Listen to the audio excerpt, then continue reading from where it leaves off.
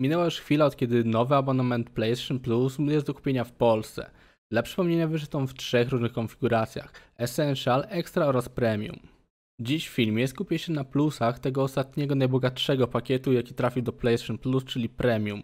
I podam wam powody, dlaczego zainwestowałem właśnie w ten ostatni pakiet. Pierwszym plusem takiego abonamentu jest na pewno stosunek ceny do ilości, bo za 480 zł dostajemy dostęp do ponad 700 gier, więc naprawdę jest coś w czym wybierać. Ale abonament to nie tylko gry, to też dodatkowe zniżki na produkcje, które nas interesują, ale nie trafiły do usługi. Również w tej cenie mamy zapis w chmurze, co czasem naprawdę może okazać się przydatne. No i dostajemy również dostęp do wersji próbnych, takich jak Horizon Forbidden West, Biomutant czy Alex. Same wersje próbne są niczym innym jak demami, które były popularne w latach 90. Starsi gracze na pewno wiedzą o czym mówię. Trzeba jeszcze wspomnieć, że same gry w abonamencie będą rotować. Co to znaczy? Ano tyle, że w abonamencie po jakimś czasie kilka gier może z niego wylecieć i na ich miejsce trafią nowe gry, jak na przykład Stray, które trafia w dzień premiery do usługi PlayStation. A skoro mowa o nowych grach, to warto też wspomnieć, że w usłudze prócz gier z PlayStation 5 i PlayStation 4 będziemy w stanie zagrać w o wiele starsze produkcje z konsoli PlayStation 2 i PlayStation 3. Tu też czeka nas potężna liczba tytułów, które czekają tylko, żeby je odpalić. Dla fanów starszych gier JRPG znajdziesz tutaj naprawdę wiele dobrych tytułów, jak na przykład Wild Arms, Star Ocean czy moje ukochane Rouge Galaxy. Wiem, że nie wszyscy lubią grać w starocie z PS3 czy w gry będące już grami retro z PS2, bo jednak grafika i niekiedy toporność w sterowaniu w starszych tytułach może odrzucić.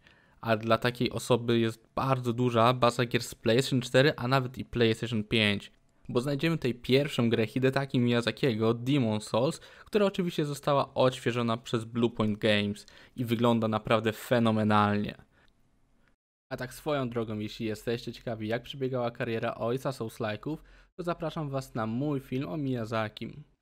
Demon Souls to nie jedyna gra, jaką możemy ograć na PlayStation 5, bo dostajemy tutaj też Spidermana Miles Morales, czy grę, która jest rogalikowym AAA o nazwie Returnal.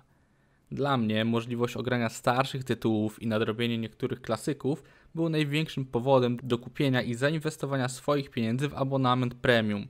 Oczywiście nowsze tytuły będące w abonamencie też były dla mnie kuszące, więc nie miałem żadnych wątpliwości co do wyboru abonamentu.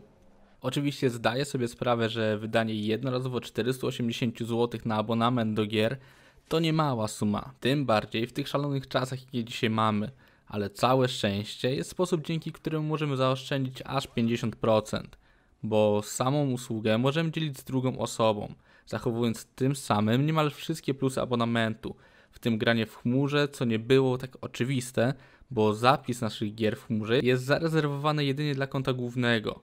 Bałem się, że tak samo będzie z grami, że gry w chmurze będą dostępne dla głównego konta, a konto współdzielące będzie musiało obejść się smakiem.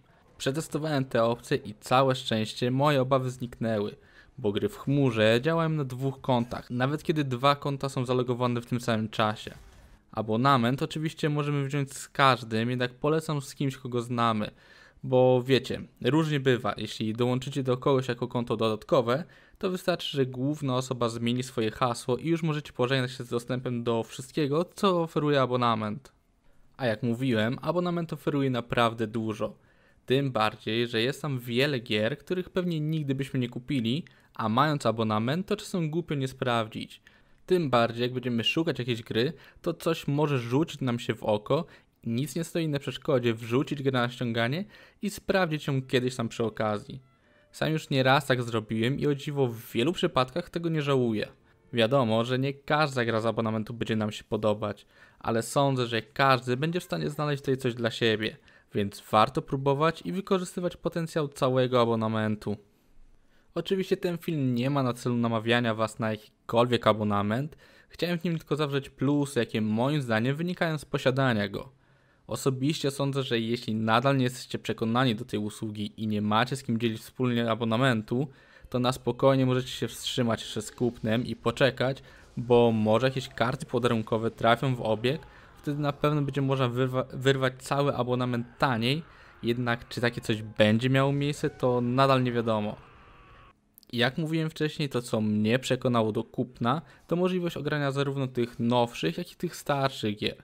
Bo akurat należy do osób, które lubią od czasu do czasu cofnąć się w czasie i ograć coś, w co zagrywałem się dawno temu, albo sprawdzić jakiegoś klasyka, którego dawno temu ominąłem. W samym filmie nie zawieram też minusów abonamentu i nie przyrównuję go do Game Passa, bo nie widziałem w tym najmniejszego sensu ale jeśli jesteście ciekawi, jakie minusy ma dla mnie ta usługa, to dajcie znać w komentarzu, a na dniach taki materiał na pewno się pojawi. Pamiętajcie też, że jeśli film Wam się podobał, to oczywiście możecie zostawić łapkę w górę i subskrypcję. A w komentarzu dajcie znać, co Wy sądzicie o tym abonamencie od Sony. Ode mnie to już wszystko, trzymajcie się i do następnego. Cześć!